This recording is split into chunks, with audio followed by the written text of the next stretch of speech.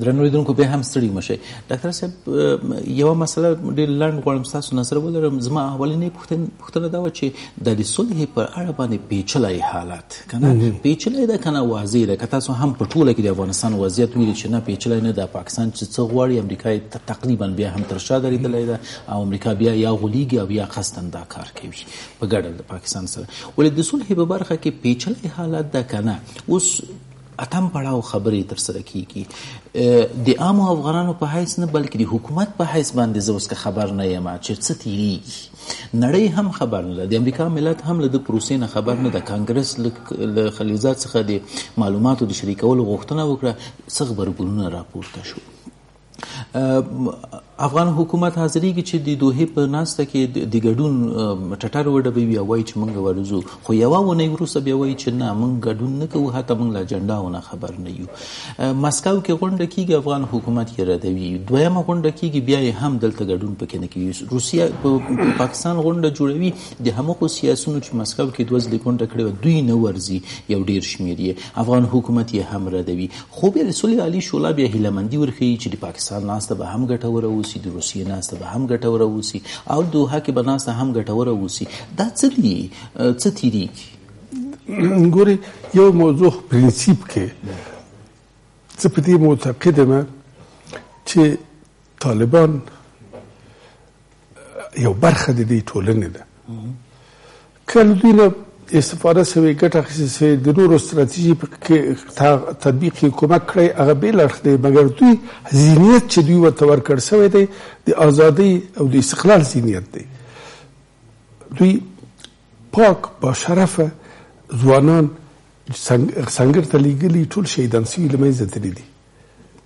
وژل سوي دي دا هم افغانان دي دا زموږ بشري قوه ده له پردې شا نه دوی خبر نه دي چې هلته چی تیریږي ولې دا کار کیږي چی لپاره کیږي زه ډیر طرفدار د دې یم چې طالبان راسي او دا پخلاینه تطبیق سي او افغانستان کې دغه ډله ډلې موجود نه طالب او حکومت یو واحد مرکزی قوی مرکزی دولت مېسته راسي مګر وړاندې ما وویلې تا ویلې پیچلې ده او او دا څولې پروسه زه وایم قطعي پیچلې نه ده مګر خپل دا رقم تصور خي او دنیا ته ولا پیچلې ده دا تیاره ده مبهمه ده تیاره او مبهمه یو شی ده پیچلتوب بل شی ده مبهمه په دې ده چې دا پردي شاته خبرې مخکې ځي کدا هغه علني و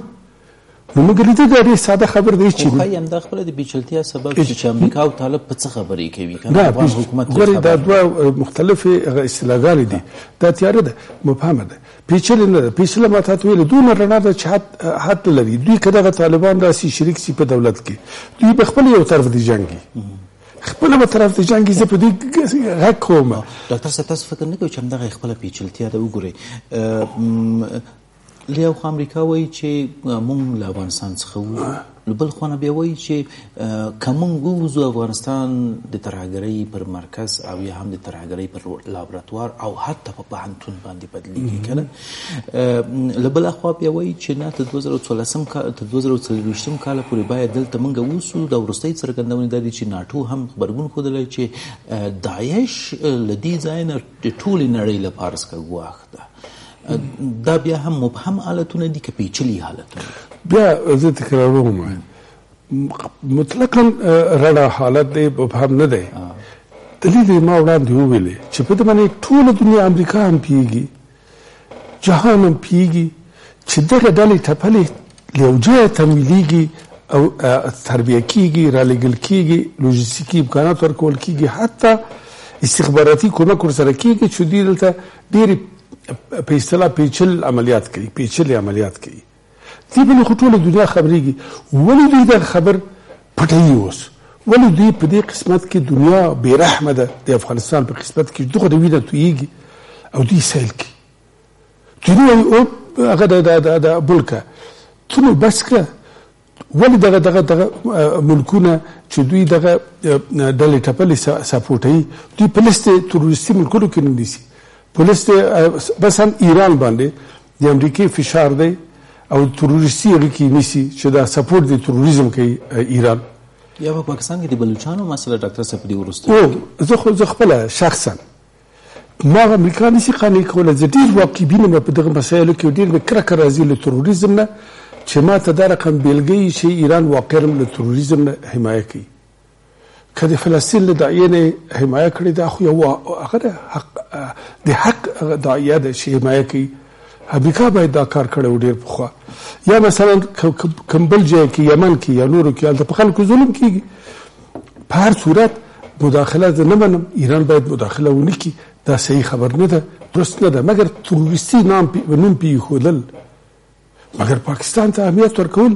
تا خپل ماته دوه ګونه هغه د برخورد دی په سیاست کې دوی باید تروریزم تعریف کړي امریکا باید تعریف کړي دغه بلوچانو چی کړی چې اوس تروریستي نوم پیګ دی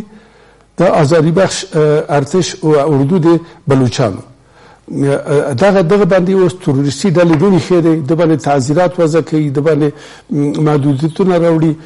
پر رهبرانو باندې او د هر چیرې چې ویني وژني دغه رقم یو حکم صادر کړی دی په داسې حال کې چې دغه عمل کم عمل ته امریکا څه رقم یو عمل ته دوی تعریف د تروریزم باید دوی وکړي خو دغه د انتها انفجار چې په کابل په پایتخت کې په لمحمد خان ته نږدې وسو امریکا ته وویل د یو تروریستي عملو یا د یو جنګ و زه خو وایم سل کسه چې هلته مړه سول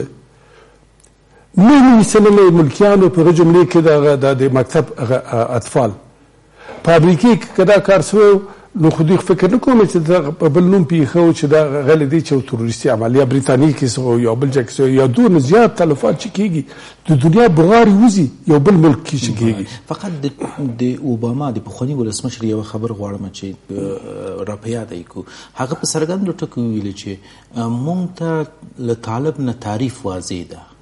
طالب که هر څومره افغانان ووژل که هر څومره افغاني ارزښتونه یې تر پښو لاندې کړل مونږ ته ترهګر نه ده دا افغاني پدیده ده خو که د امریکا سفارت او د امریکا ګډو ته په بدو سترګو هم وکتل دا بیا ترهګر تر تاریخ راتلای شي نو اوس هم همدغه ډول ده په امریکا کې ډېر زیاتې داسې پیښې کیږي په نړۍ کې دغه هیوادونو کې چې د ترهګرۍ نه سم تعریف نه لري هغه بیا رواني نوم ورکي ولا رواني حالات وو په افغانستان کې کچیرته دغه ډول قتلونه هم کیږي هیڅ باک نه لري خو که دوی ګټو ته تاوان بیا ترهګري تعریف ده نو څنګه مونږه خپل ستراتیژیک ملګری ډاکټر صاحب د دې ته قانع کولای شو چې پر دغو تعریفات تعریفاتو باندې حد اقل مونږ سره همغږي شو وخت زمانه معتقد کوي مګر د موږ په ډېره وینه توی سي خورا ډېره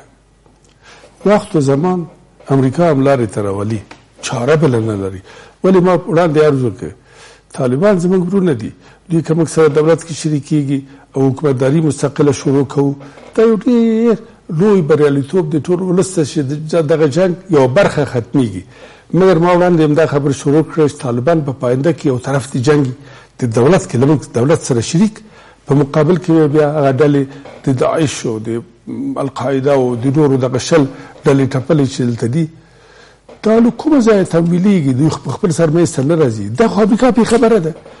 که خبره نه ده خو دا خورا ډېر ناتوانه استخبارات لري چې دوی نه پوهېږي چې دغه شل ډلې څه وخت منځ ته راغلې له کوم ځایه منځ ته راغلې حتی نورو د رهبري باندې چې پوه نه شي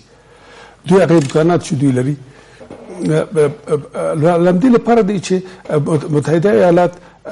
په دغه موضوع کې باید دغه لانجه باید لنډه کی تر هغه چې په پاکستان باندې فشار را نسی د دنیا چې هغه متقاعد دي ته نسی چې حمایت دغه ډلو بند کی دا جګړه په افغانستان کې په لسګونو کلونو نور هم غځېږي او طالب به نه وي داعش به وي داعش به نه وي نو بله ډله به وي او طالبان به بیا هغه وخت کې په سر ټکوي چې ولا موږ په هغه وخت کې ولې پوه نه شولو په دې باندې زه اوس پرې غږ کوم چې وروره موږ زر باید څول وکړو متحد سو یو لاس سو خلکو ته مراجعه وکړو خدای دوی کې چې امارت جوړوي خدای دوی کې چې هر څوک دوی رئیس جمهور انتخابوي هیڅ نه مخالفت زه نه لرم دوی دوی ګوري چې به څنګه اول زه د دوی څنګ کې درېږم مګر ولس باید مطرح سي د طالب او د حکومت یعنی د ملت په ادرس خصوصا د طالب او د حکومت څه هوښیارتیا ډاکټر صاحب ستاسو په نظر باندې پکار ده چې پر دغه مسایلو باندې کوی چې حکومت نه د پو نه د خبر دقیقا آگاه دي استخباراتي کړۍ لري دوی معلومات لري اسې د عامو افرادو په حیث باندې نه دي تر کچې پورې نه دي دوی یو حکومت په دغه ټولو مسایلو پوهېږي چې پاکستان څه غواړي امریکا څه غواړي حتی طالب څه کوي د طالب او د افغان حکومت په ادرس باندې آیا یوه ښه سپارښتنه دا نه ده چې له دغو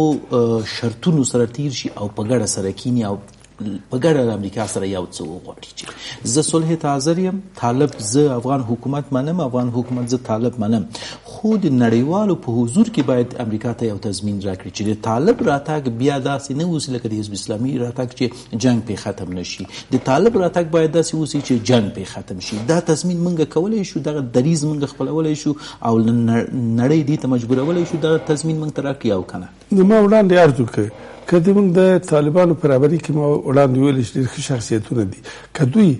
په دغه باندې سر خلاص شي چې دوی دغه پردی نسخه عملی نکړي او راسي په جرأت د افغانستان له دولت سره یو ځای دغه نظام جوړ کړي او خلکو ته مراجعه وکړي زه خو خرابه خبره خو نه کوم دوی به په دې باندې پوه شي زه خو وایم چې ته که زور لرې طالبه له خلکو نه دا رایه واخله او اخلي حتی زه دا پیشنهاد کوم د ده ملاتړ وکړم چې دا کمیسیون د انتخابات باید مشر طالبي له اوو تنو جوړ شوی دی څلور تنه طالباني په ټولو ولایاتو کې اکثرت د طالبانو غړي په کمیسیون کې شامل شي چې ورنه شفاف انتخابات وشي او هغه د دا رهبری د عادت دولت وټاکل شي مګر جنگ نه ختميږي قطعي نه خبري ختميږي تر هغه چې امریکا دنیا په دغه خبر سر خلاص نه کی چې هغه ځای نه چې سپورټیږي افراطیت او تروریزم هغه ځای باید په لار راسي یا په زور یا په زارۍ یا په اقتصادي تعذیراتو زه د دې طرف طرفدار یم چې اقتصادي تعذیرات کوزه سي د څه شواهد او بیلګې فراوانه موجود دي نیمای د دغه تعذیراتو او محدودیتونو چې په ایران وضع شوي دي که پاکستان وضع شي پاکستان په خپل انفجار کې ټول ټوټې ټوټې ټوټې کېږي دغه د بندیزونو خبره مطرح کېږي نه ډاکټر صاحب ځکه چې پاکستان تل د یوې برخې په توګه د امریکا سره درېدلی او د امریکا پروژې په اجاره اخیستي نو که داسې څه ډول اوسي د د بندیزونو او د فشارونو مسله بیا قطعا نه مطرح کیږي ستاسو مخکینی خبر ده چې ترامپ ډیر ښه دریځ ونیوه ولې دا چې څه لاملونه و څه فشارونه و څه ګواښونه و بیرته وګرځېد خو دا هغه لوی ستراتیژیک اشتباه د امریکې ده امریکا باید په خپل ملي ګټو زړه وسوځي دا اصلا همغږي د امریکا له ملي ګټو سره نه لري مطلق دغه ولس دښمن کیږي د متحده ایالاتو اوس هم دښمن شوی دی مطلق دغه منطقه دښمنیږي له امریکې سره یو زمامدار خو نن څه سبا نسته امریکا باید په دې سر خلاص کې یو سر خلاص ده چې یو دیموکراتیک نظام دی دیموکراسي کې ولس مطرح ده ولس خپل که ما وړاندې هم ویلي، که دوی په ولس سرمایهګذاري کړې وای، له پخوا نه دغه جنګسالارانو ته امکانات نه وو ورکړي، قانون یې تطبیق کړی و، دلته جنګ به منځته نه راته، دلته چا له طالبه ملاتړ نه کاوه، بیا خپله ملامت دي دوی، دوی مرکزي دولت ضعیف وساته، کرزي صاحب چیغې وهلې، او تر اوسه چیرې راشي د اشرف غني هغه د موږ وینو څنګه په قوتي کې جای کړی دی دوه دو سره حکومت ورته راوسته په نس پک دوی نه غواړي چې قوي مرکزی دولت که مرکزی قوي دولت او قانون تطبیق سي په ټول ملک کې دلته په قطعي ډول ضرورت د دې نه کېږي چې موږ بیا دوحې ته لاړ شو یا اسلام آباد ته د سولې ګدایي وکړو دلته خلک حمایه کوي بیا له حاکمیت ده اوس خلک ناراضه دي خلک چې ناراضه دي طالب سره درېږي امکانات یې پراخېږي د طالب هره ورځ. ما شپږ اوه کاله پخوا همدغه پوښتنه له مانه سوې وه چې آینده کال کې به وضع ښه يي که خرابه؟ ما همغه وخت کې وویلې که دغه ټوپک حاکم يي او دغه ظلمونه روان يي په خلکو باندې، دغه فساد د اداري يي، آینده کال به له سږ کال نه خراب يي او دوه کاله بعد بل آینده کال نه همداسې به خرابېږي تر هغه چې به موږ محوه سو له منځه لاړ سو ولې علت د جنګ هغه دی چې چې موږ همیشه پرې تاکید کړی دی یعنې خپل خار... داخلي بود هغه دی خارجي بود دا دی چې امریکا او دنیا باید کمک کړي چې پاکستان دې ته متقاعده کړي غیر غني کېږي او خپل طالبان باید طالبان باید حکومت سره یو لاس لاس یو کی که دوی واقعا او سپیڅلي افغانان دي او وطن پې ګران دی چې پاکستان په جای په جای کینی چې وروره موږ خپل مېز کې جوړیږو نو د هیڅ چا تمویل او تجهیز مکوه موږ موږ دلته واحد حکومت جوړو نو ته ماته نور نور خلک مې سپورټ و یعنی طالب تر اوسه پورې له بده مرغه دا وخیارتیا نه ده خو دل تر اوسه پورې په خپل پخوانی دریز باندې دل چې ځل افغان حکومت سره په تاریخ کې یو شی ډیر بیرحمه ده هغه وخت و زمان ده دا دنیا خبرې د دوی په یاد ولري دغه وخت و زمان دوی ته دا سبق او جزا ورکوي دوی ته یې ورښي چې بله لار نشته او امریکې ته یې ورښي دنیا ته یې ورښي اوس که امریکا دلته عادلانه برخورد کړی و د افغانستان ګټې په نظر کې نیولې وي هندوستان هم نه خپه کاو هندوستان خپه سوی له امریکې افغانستان خلک نه خپه کول زموږ دولت نه ناراضه کاو زه د یو ډیر فقیر یو شاګرد د حقوقو په حیث حد اقل چې یو یو یو یو څه سرمایه گذاری په ما سوی د دولت په بعضو برخو کې ما دغه دغه دغه قوي سپورټ کول دغه حالت نه اوس نه سم کولای اوس خو دې سپورټ نه لرم د عادي خلکو ټول عملا ویني چې بیکاري ډیریږي فقر ډیریږي مرض ډیریږي ځوانان بیکار دي ټول فغان دي ټول وتلی قیمتي ډیریږي ورځ په ورځ خلک تبا غرق دي او وینم تویږي هره ورځ په هر کور کې ناورین ده پر کور کې ډاکټر صاحب جالبه مسله هم همدغه ده چې تاسو ورته اشاره وکړه چې اوس حتی هند ورسکه خپه ده لرې ده خو د جنوبي اسیا د ستراتیژۍ په اړه چې کله د امریکا اعلان شو نو داسې ویل کېدل چې پاکستان له لاسه ووته او په دې سیمه کې دوه ملګري امریکا ځان ته غوره کړ چې هندستان او ترڅنګ یې افغانستان ده خو نن موږ بیا دا ګورو چې بیا هم پاکستان امتیاز اخلي پر بلوچو باندې د امریکا له لوري بندیزونه دا بل څه نه دي بدون له دې نه چې پاکستان ته امتیاز ورکړی اوسي او یا هم د پاکستان پر خلی اوس بیا هم د صلح د هڅو لپاره چې د پاکستان ګړندیتوب دا بل څه نه دی چې امریکا ورته امتیاز ورکړی اوسي اصلي خبره دا ده چې د امریکا ستراتیژي د افغانستان او د دې سیمې په اړه لنډمحالي او که اوږدمحالي ستراتیژي پر اړه باندې فکر کوي د طالبانو یو ځای کېدل او یا هم طالبانو سره د صلح مسله لنډمهاله ستراتیژي د خصوصا د امریکا د حکومت د ترامپ لپاره څخه ده چې راتلونکي انتخابات په امریکا کې خورا زیات مهم دي خصوصا د ترامپ لپاره څخه او ښایي ترامپ ملت ته خپل دا وروښي چې ما اتلس کلنه پخوانۍ جګړه چې ټولو ولسمشرانو په جګړه ییز حالت باندې تمرکز ډیر و ما دا ختمه کړه او سوله ییز افغانستان مې تر شا پرېښوده لنډمهاله ستراتیژي که اوږدمهاله ستراتیژي اوږدمهاله ستراتیژي نو بیا تاسو فکر نه کوئ چې ګویا دا به نه وي ځکه چې امریکا چې د څه لپاره څخه دلته راغلې ده هغه یې لا تر اوسه پورې ښایي په دې سیمه کې نه وي ترلاسه کړي ګټې به یې څه وي ګوري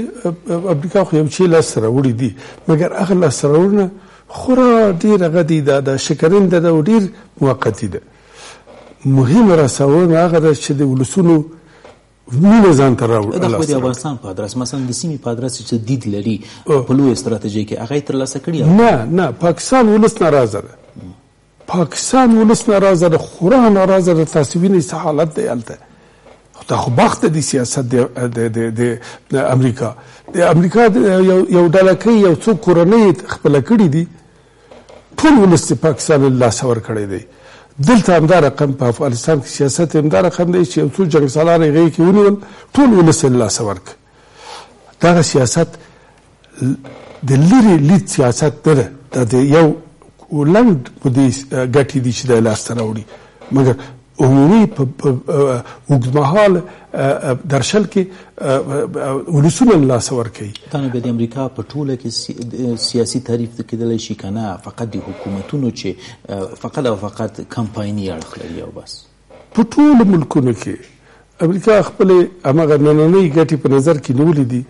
یو زمامدار که دی هر څونه هم ظالم و مګر د ده ګټې یې ساتلې هغه یې غېږ کې نیولی له هغه نه یې حمایه کړې ده مګر ولس لاس ور کړی دی زه د سره موافق نه یم دا د لری لید سیاست نه دی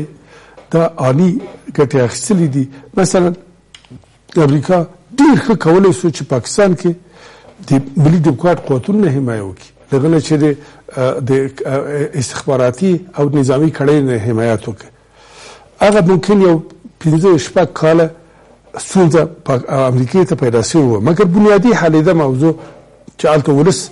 امکانات د دې پیدا کوو چې خپل سرنوشت خپله وټاکي دغه یو څو کورنۍ چې پاکستان کې حاکمې دي هغه له منځه لاړې شي یو عالم جنایات هم کړي دي لکه افغانستان کې چې همدغه جنګ سالارانو یو عالم چورو چپاولو جنایات کړي دي که امریکا دا ولس په غېږ کې نیولی هغه ډیر ساده و چې هغه له سعدې وتلی و. منظور یې هیڅ وخت کې دا نه ده چې دا خلک ووژل سي یا بندي سي. حداقل له قدرته لرې سوي وو. حاکمیت خلکو ته انتقال سوی و. نو اوس هم دغه لړۍ د مذاکراتو چې اول موضوع باندې راسو اووم پړاو دی. نتیجه نه لري او که ولري یو ډیر ظاهري یو شی یو کاغذ به امضا سي خو هغه به وي چې امریکا په دې ګټه ترې اخیستې امغه چې د انتخاباتو کې تی انتخاباتو کې تی ګټه واخلي سول نه راولي کنن د کسبا د دوی دغه موقف ته راځي چې باید هغه منبع د تروریزم چینه د تروریزم وچسي هغه باید له منځه لاړه سي چې هغه سپورت دی د یو دولت یو قوي اتومي دولت سپورت دی له افراطي ډلو ټپلو نه هغه که له منځه لاړه سي نو طالبان هم ناکام دي په آینده کې دوی ته باندې غږ کوم دوی هم در په در کیږي نن به یو ګټي سبا یې بایلي او د افغانستان ولس هم تبا کیږي حکومت هم تبا کیږي د طالبانو په ادرس باندې امریکا ته هیڅ باک نشته چې ناکامیږي کې ګټ بریالي کیږي لکه د مجاهدینو پروسه لکه نور پروسې کارول کیږي ایسته اچول کیږي تاریخ چې تیر شو دا به د امریکا لپاره څنګه دومره مطرح مسله نه وسی فقط په دې اړه وخت هم کم دی ډاکټر صاحب تاسو نظر لرم د ټرامپ د ورسوي څرګندونو په اړه چې افغانستان کې چیرته موږ ووزونو یو خو به استخباراتي ماموریت زموږ دلته دوام ولري خو تر ټولو بد خبر چې بیا هم هغه سي حیرانون کې خبرې کړې دي چې وایي دي چې افغانستان د ترهګرو په یو لابراتوار یا هم پر مرکز باندې حیثیت لري حکومت روس پر خبرګون نه د خودلې خو چې باید خودلې او افغانانو هم باید تر پټوله کې د خبرګون خودلې چې په تل سو کلونو کې خو موږ د دې شاهد یو چې څنګه طالب ورک شو څنګه را پیدا شو کوم غلطو سیاستونو ستاسو طالب بیا را او پرسو او قوي ک او یا سلنه خاور څنګه په کوم غلطو سیاستونو باندې اوس د طالب په واک ده داعش تاسو په واکمنۍ کې تاسو په حاکمیت کې څنګه را پیدا شو نو دا ملامتي رښتیا هم پر پر افغانستان باندې چې افغانستان خاورې د ترهګرو په لابراتوار ده که نه د دوی غلط سیاستونه د دې سبب دي په دغه برخه کې د کریزي صاحب دغه لنډ تحلیل سل په سلو کې زه تاییدوم فقط کوم شی چې زه غواړم لږ تحلیلي پې باندې اضافه کوم هغه دا دی چې ګورئ دغه طالبانو سقوط وکړ درې کاله تک نه کېده په افغانستان کې کامل امنیت و بیرته ولې دلته جنگ پراخ سو طالبان پیدا سول یوازنی لامل دا و چې د بن په کنفرانس کې هغه ډلې ټپلې چې طالبانو شړلې وو هغه ډلې ټپلې چې په ملک کې دوزخ جوړ کړی و کابل ښار وران ک دړې وړې ک کابل ښار په څلور پنځو دولتونو تقسیم شوی و ټول افغانستان په سلګونو دولتونو تقسیم شوی هر قومندان دولت و طالبان راغلو دوی وشړل خلیسلا یې کړل ټول یې نابود کړل ویې شړل لویه توره طالبانو همدا وه چې ټول ملک یې خل... سلا ټوله کړل تریاک یې محوه کړل امنیت یې راوسته دا خو ډېر لوی کارونه و چې دوی وکړل ستر کارونه و هغه منفي اړخونه که نه وای اوهو دوی به په تاریخ کې ثبت شي مثلا دا د ښځو محدودیتونه دا د حقوق د بشر ازادي د بیان دغه ډول خبرې هغه کړو دوی چې وکړي خو دغه ستراتیژي د امریکای و چې دغه جنگ سالاران هغه خلک چې طالبانو شړلی او هغه والی چې دغه ولایت طالب شړل او د بیرته راوستانه جې کې والی هغه ولسوال شړل او چې ظلم کاوه په خلکو ملشه د لودل نور د امغلته ولسوال هغه بصوفي ټول هغه کټ کټ امغه اداره د کرزي صاحب تر حاکمیت لاندې بیرته په کرزي تحمیل کړه هلته په خپله کرزي تحمیل کړله هغه یې در په درک هغه ټول سالمه بیرته راوستله دوی بیرته همغه نادودې شروع کړلې د دیموکراسۍ تر چتر لاندې په خلکو ظلم ناروا چور چپاول دا دا دا دا زمینه یې مساعده کړه چې خلک بیرته طالب سي لاړ شي طالب سره جنګ شروع کړي ولې دغه هغه تر ټولو اصلي لامل د جنګ دغه دی د دوی سیاست دی چې تر اوسه پورې اوس دغه ټوپک ټوپکمارو نه تر اوسه پورې حمایه کوي خلیزات راځي نو ټوپکمارانو سره کینی غږیږي او کور دی آباد څه ته په دې پوهېږي که نه پوهېږي چې دا منفورترینې څېرې دي په وطن کې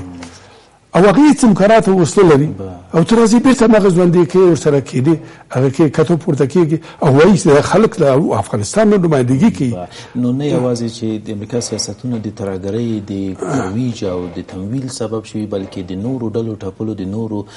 هغو د قدرت د جزایرو د رامنځته کېدو سبب هم شي په دې اتلس بالکل سل په سل کې او همدغه مرکزی دولت چې ضعیف وساتل سو هم د کرزي صاحب حکومت چې نهایت ناتوانه یې وساته. دغه جزایر د قدرت فشار و په کرزي باندې همدا عین هغه شکل دی حکومتداري په غني وتپل سو او دا شعوري او دغه پلان سوی و چې دلته باید یو قوي مرکزي دولت نه وي ډاکټر صاحب هم دې هیله چې مونږ افغانان سره یو ځل یو ځل په خپل کې سره په خپل کې سره جوړ شو نو بیا بر نورو ته پیو خله ډیر څه تر لاسه کړی شو مننه کوم ډاکټر صاحب چې وخت مونږ تر کړ تر نور دونکو تاسو هم تر بیا مو په لاس واره مخاله وسو کاله